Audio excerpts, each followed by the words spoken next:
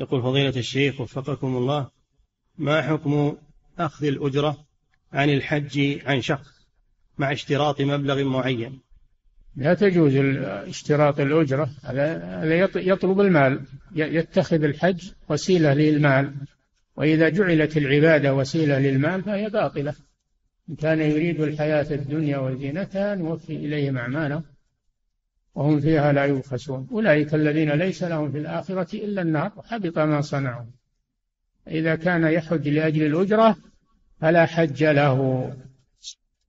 أما إذا حج لأجل الحج والعبادة طلب الأجر ونفع أخيه وأخذ مالا يستعين به على الحج فلا مانع. ولهذا قالوا من حج ليأخذ فلا يحج. ومن أخذ ليحج أخذ ليحج فليحج. نعم.